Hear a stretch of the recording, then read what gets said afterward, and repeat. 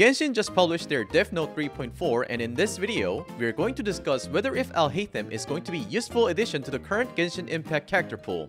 Hi, my name is Tenha, and I mostly cover Genshin Impact contents on this channel. If you find this video helpful, make sure you subscribe to the channel with alert setting on so you don't miss out on any other future videos that I release.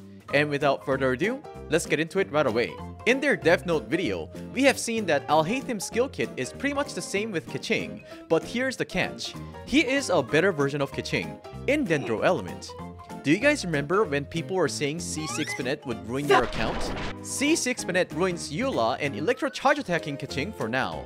However, when you use double E on Alhaitham, his attack gets infused with Dendro Element and it cannot be overridden by anything, which means that he is going to be perfectly compatible with C6 Bennett. One concern I had with Alhaitham is that right now, Nahida is too powerful to a point where you don't need any more Dendro characters if you have her.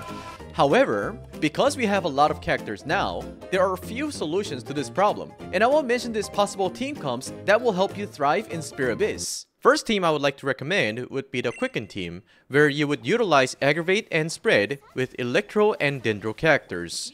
You would want to utilize a very F2P friendly character, Fischl. The reason why you want to have Fischl is that her Ascension passive grants additional damage and there is no internal cooldown to it, which means every time this occurs, it is always going to be an extra aggravate and you could even further buff Alhaitham's damage by using Bennett. Because Alhaitham's Dendro Infusion will not get affected by anything, even C6 Bennett won't be able to stop or interrupt the aggravate status from the enemy, if you use him right.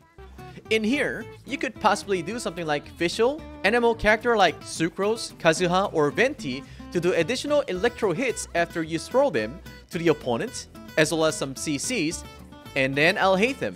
You could replace Fischl to Raiden Shogun if you wish, but either way it's going to be very good. Here is the second team that Alhaitham would complete. To be honest, Nilou's team is kind of complete, but with Nahida in a team, I felt like I died a lot because I had to keep her out on the field to apply Dendro to create bountiful cores. Now, I understand that this team is quite expensive because you would need Nahida, Nilou, Kokomi, and Alhaitham all being a 5-star character and you will also need Nilou's weapon to make this work.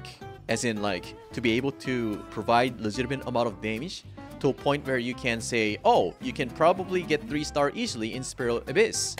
But I can guarantee you that this team is going to be super fun and feel more complete when you have all of them. And then, for the final team, I am going to leave this up to you guys. Not that I'm lazy, but because Genshin Impact has no endgame when it comes to combat system. You could literally do anything with him at the moment. Any off-field DPS that helps you do elemental reactions, mix of either a shielder or healer, and a support will be great for Alhaitham. The reason why I'm making this video is because I really hope you understand the joy in making team comp yourself. If I were to make a team, according to the advice that I just gave you, I could literally use like Xingqiu, EM Kuki, Bennett and Alhaitham, which would allow me to create Dendro cores, setting it off to Hyper Bloom with EM Kuki, as well as a stable healer and a damage booster Bennett. I want you to take your time and mix and match the characters and tell me what your feature team is going to be like in the comment section. In conclusion, my first impression of Alhaitham being a Dendro character was not so great, but come to think about it, it wouldn't be so bad to have a Dendro Keqing after all. Although I would much prefer to have a whole new skill kit for a new character, the fact that his skill kit is actually a fixed version of what Keqing was supposed to be like makes me get more excited to have him on the game. He looks absolutely gorgeous as well. So what do you guys think? Do you think he's going to be interesting or not? Thank you so much for watching this video. I will see you guys on the next one. Oh, also, don't forget to check out the unboxing series that I have started on this channel. It's a new thing that I started and I think it's gonna be very entertaining for you guys. I have so far opened Ganyu phone and Ganyu earbuds. And I will put it in the link in the pinned comments. And for real, adios.